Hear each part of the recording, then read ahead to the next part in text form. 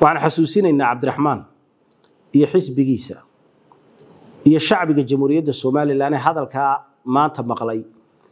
Ganacsatada jamhuuriyadda somalilan waa kuwii kaa bixiyey magtii maalintii dhoweyta wasiirka daakhiligu guddoonsiiyey eheladii ciidamadii qaranka ee buurta aad ku layseen ee adigu amarkeega aad lahayd.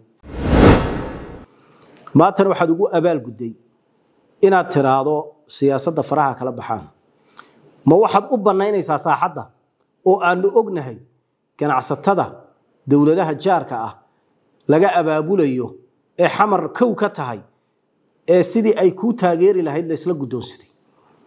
Ma taasaad saaxadda u bannaynaysaa oo hadalkan aad hordhaac uga dhigaysaa? Kuwaana dowladdu way ka warqabtaa shacbiganna masalle kale hatuu ku fadhiyaa. Waana kuwa maanta aad doonaysa inaad qiil u sii samayso waana dembi qaran ilaahay baa dhammaan aynu mahadinaynaa. Khayr iyo ina waafajiyey qarankeenii jamhuuriyadda somalilan oo aynu haysanno.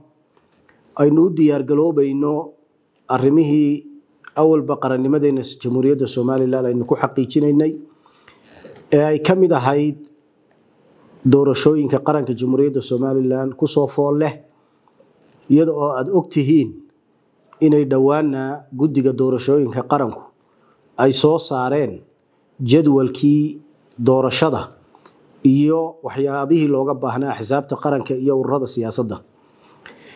Waa runtii doorasho taariikhiya oo ku suntan xukuumadda madaxweyne muuse biixi cabdi oo horeyna u qabatay doorashooyin isku sidkan bilowday miisaaniyadda qaranka ka maalgelisay taariikhda markii ugu horeysay maantana doorashooyinkeenna aynu ku qabsanayno waxaw isku kalsooni iyo isku tashi qarankan uu madaxweynaha jamhuuriyadda somalilan mudane muuse biixi cabdi ku hogaaminayo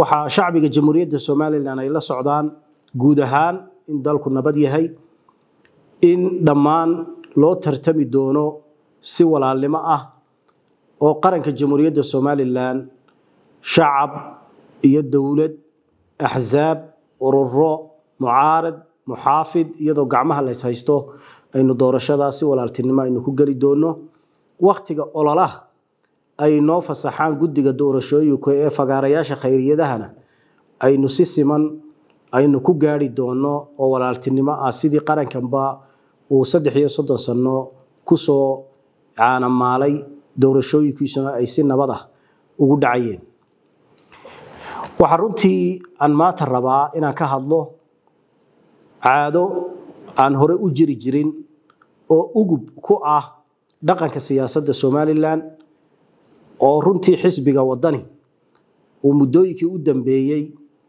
uu waxa weeye caadaystay shacbigana indhasarcaad uu ugu dhigayo oo xisbigiisa dadkii ka mid ahaa muddada kooban uu jiray maadaama uu yahay xisbiga ugu cumriga yar leh somalilan uu maalin walba xafiiskooga shirar ugu qabto oo uu yidhaahdo waxa nagu soo biiray dad shacab ah iyada oo dadkaasi ay yihiin dadkii awalba horay ula joogay. Waana taariikh somalilan ku cusub. Shacbiguna ay si waafiya u fahmeen in maanta uu wadani shacabna laayahay dadna laayahay oo runtii kalsooni darro badani ay ka muuqato. Taa iyada oo la wada og yahay habeenba nuuc iyagoo iscasuumay inay idhahdaa waa nala casuumay. Oo cid casuumtay ciddii casuumtay oday iyo aanay sheegaynin iyo bulshada ay sheegayaanba ay maantana uu ku daray murashaxa xisbiga wadani cabdiraxmaan ciro inuu eedayn qaawan u jeediyo ganacsatada jamhuuriyadda somalilan ee sharafta leh ee xurmada leh ee qaranka dhismihiisii ka soo qayb qaadatay. Cabdiraxmaan dalkan waxa uu yimid siduu isaguba afkiisa ka sheegay isagoo maalin ka hadlaya jaamacadda golis waxaan dalka imid buu ihi labadii kun iyo afartii labadii kun iyo shantiina golaha wakiilada loo doortay.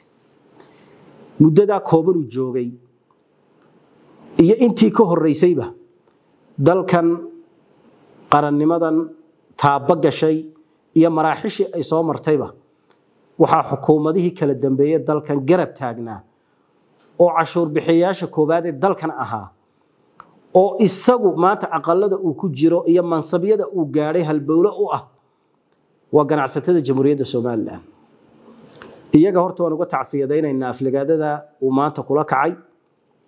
Waxaanan xasuusinaynaa inay ganacsatada jamhuuriyadda somalilan yihiin ganacsato ka duwan ganacsatada kale ee dowladaha jaarka ah. Waayo waa ganacsato aaminsan qarankooga jamhuuriyadda somalilan waa ganacsato qarankan wax ku noqotay oo maanta dalkani waxa uu ku socdo iyo doorashada aad sugaysaba waxa laga maalgelinaya waa cashuurtoodii waana miisaaniyadda qaranka. Marka inaad maanta aflagaadayso dee somalilan oo dhan baad soo dhammaysay muddadaa xisbigaagu jiray oo maalinba heer iyo maalinba cid gaara aad wax ka soo sheegayseen oo ay u dambaysaan waxaban islaa ciidamadii qarankeed layseen baa u dambayn doonta wax dambay geystaan.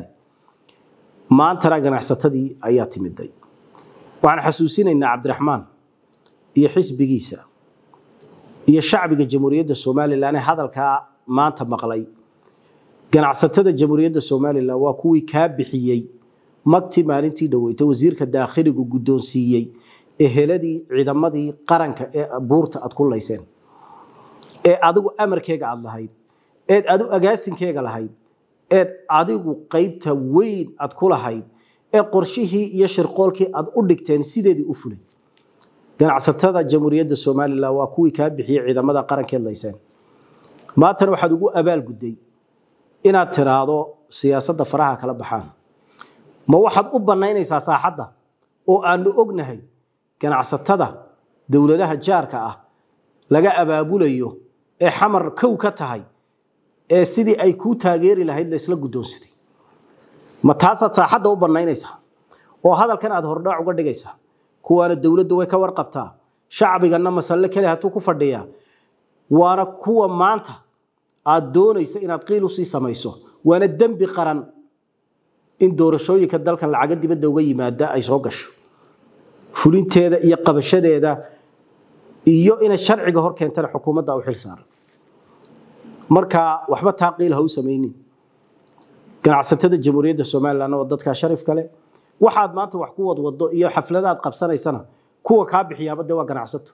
Ma magac kale leeyihi marka waxaanu shacbiga jamhuuriyadda somalilan xasuusinaynaa hadallada deelqaafka ah waa caadadii cabdiraxmaan iyo xisbigiisa maantana ay ganacsatada ku dambaysay ganacsatada dalkanna dalkan sharif bay ku leeyihiin. Waanan ka xunnahay aad iyo aadna waan uga tacsiyadaynaynaa waa xaalna waanu ka siinaynaa. Aad iyo aad baad umahadsantihi salaamu calaykum waraxmat ullahi tacala wabarakatu